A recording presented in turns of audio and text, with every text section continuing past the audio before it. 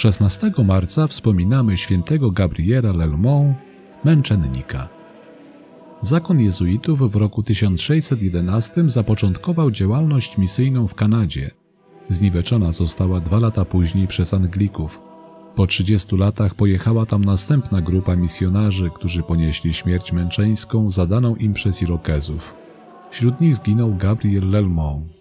Był jednym z francuskich misjonarzy jezuickich pracujących w latach 1642-1649 wśród Indian Huronów i Irokezów w Ameryce Północnej, a przede wszystkim w Kanadzie. Pracował i zginął razem z Janem de Bribeuf i jeszcze sześcioma towarzyszami. Gabriel urodził się w 1610 roku w Paryżu. Był synem adwokata. Od dziecka był bardzo wrażliwy, delikatny i raczej drobnej postury. Mając 20 lat wstąpił do jezuitów. Studiował teologię w Bourges. Za zgodą przełożonych przygotowywał się do wyjazdu na misję do Kanady. Złożył nawet ślub pozostania na zawsze wśród tamtejszych tubylców.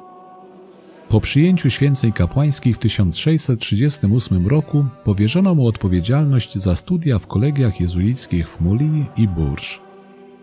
20 września 1646 roku przybył do Quebecu, by podjąć działalność ewangelizacyjną, czego od dawna pragnął. Przełożonym misji jezuickiej był jego wujek Hieronim. Znając brak jego tężyzny fizycznej i nie chcąc narażać go na przykrości, nie pozwalał mu na podejmowanie działań misyjnych wśród miejscowych ludzi w mieście. Dwa lata później razem ze współbratem Janem de Brief podjął pracę misyjną wśród Indian Huronów w mieście Wendake. Misjonarzy przyjmowano nieufnie z wielką rezerwą. Indianie nie chcieli odchodzić od swoich wierzeń, by przyjąć nową religię. Działalności misjonarzy najbardziej sprzeciwiali się miejscowi szamani w obawie przed utratą wpływów. Gabriel uczył się ich trudnego języka, by móc im lepiej służyć. Praca wśród Indian była bardzo trudna. Owoce przynosiła powoli. Jednak z wytrwałością realizował posługę misjonarza. Relacje między plemionami Huronów i sąsiednich Irokezów były napięte, coraz częściej zdarzały się napady, mordy, grabieże. 16 marca 1649 roku Irokezi wypowiedzieli wojnę. Napadli na wioski Huronów i wymordowali większość mieszkańców. Ze szczególną zawziętością zabijano misjonarzy. Ojciec Jan de Brief był długo męczony, a później zabity. Ojciec Gabriel był torturowany z jeszcze większą zaciekłością od wieczora do rana następnego dnia. Gdy kaci spostrzegli, że modli się do Boga i patrzy w niebo, wydarli mu oczy, a do pustych oczodołów wsypali rozżarzone węgle. W końcu jeden z napastników, znudzony i zmęczony tak długim patrzeniem na jego męczeństwo, siekierą roztrzaskał głowę męczennika. Po śmierci otwarto jego klatkę piersiową, wyrwano serce ociekające jeszcze krwią i spożyto, gdyż wierzono, że na tego, kto je spożyje, przejdzie odwaga i męstwo. Następcy męczenników kontynuowali dzieło ewangelizacyjne. Kolejna grupa misjonarzy jezuickich przybyła w 1661 roku.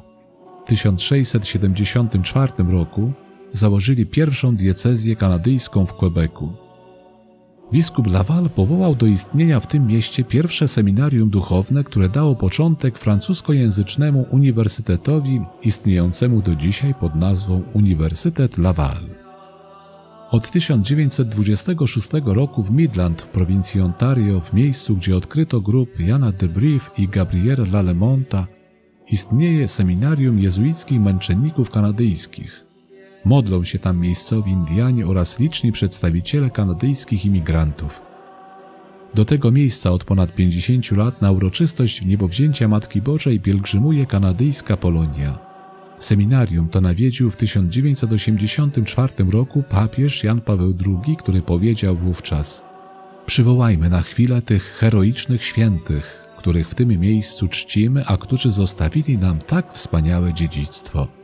To sanktuarium męczenników jest miejscem pielgrzymek i modlitw, monumentem Bożego błogosławieństwa dla przyszłości, inspiracją dla nas spoglądających w przyszłość ośmiu męczenników kanadyjskich, wśród nich Gabriela, papież Pius XI beatyfikował 21 czerwca 1922 roku, a kanonizował 29 czerwca 1930 roku. Módlmy się. Wszechmogący wieczny Boże, z Twoją pomocą święty Gabriel aż do śmierci walczył w obronie wiary. Spraw za jego wstawiennictwem, abyśmy z miłości ku Tobie cierpliwie znosili wszelkie przeciwności i ze wszystkich sił dążyli do Ciebie, bo Ty jesteś prawdziwym życiem. Przez naszego Pana Jezusa Chrystusa, Twojego Syna, który z Tobą żyje i króluje w jedności Ducha Świętego, Bóg przez wszystkie wieki wieków. Amen.